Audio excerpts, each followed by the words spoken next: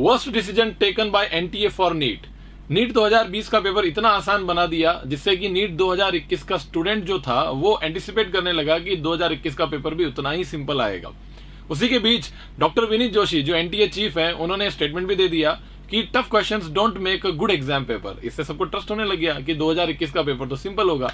और इतना हुआ ही नहीं था कि एग्ज़ाम के एक महीने पहले उन्होंने पैटर्न चेंज का अनाउंसमेंट कर दिया और पैटर्न चेंज में ऑप्शनल क्वेश्चन डाल दिए, जिससे कि बड़े बड़े यूट्यूबर्स भी ये एंटिसिपेट करने लग गए थे कि एग्ज़ाम पेपर जो है वो दो तरीके के क्वेश्चंस होने की वजह से, दो तरीके के सेक्शंस होने की वजह से यहाँ पर सिंपल हो जाएगा। लेकिन प्रेप ऑनलाइन की टीम लगातार आपको कह रही थी, हमने वीडियो के थ्रू आपको बताया। और क्या बताया?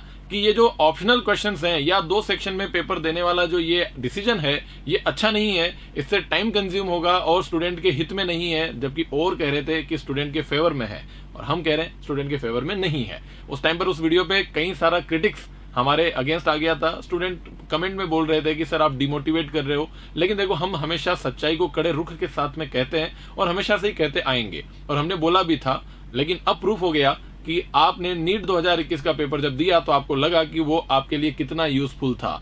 हम एक वीडियो और भी डाले थे जिसके अंदर हमने कहा था, आपसे पूछा था कि आप बताइए कि नीट 2021 में ऑप्शनल क्वेश्चन देने का क्या फ़ायदा हुआ? और उस वीडियो को कई सारे स्टूडेंट ने देखा और अपना रिस्पॉन्स दिया कि बिल्कुल फ़ायदा नहीं हुआ। जो हम बोल रहे थे, वही हुआ कि आपका फ़ायदा नहीं होगा। तो स्टूडेंट्स इसी तरीके से आपको इस बात का कंक्लूजन लेकर के चलना है कि आने वाला नीट 2022 का जो पेपर होगा, वो कैसा भी हो सकता है।